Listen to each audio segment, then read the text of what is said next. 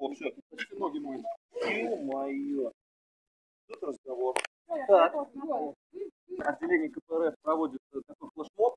Вот, значит, посвящено оно э, бездействию, очередному бездействию значит, э, коммунальщиков Саратова, города Саратова. Очередной снегопад пропустили, не готовы, ну и мы призываем значит, обратить внимание общественности на, на эти факты. Да?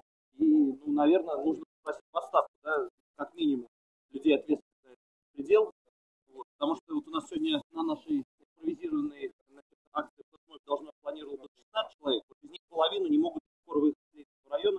Улица Пачанская до сих пор стоит, 9 баллов пробки. Ну вот часа полтора, наверное, два, наверное, стоят, поэтому мы решили начать с них. Вот, собственно, посмотрим сейчас, э, да, как правильно передвигаться по городу Саратову, да? Только в лыжах, наверное, это можно сделать. Вы только раз не бегите.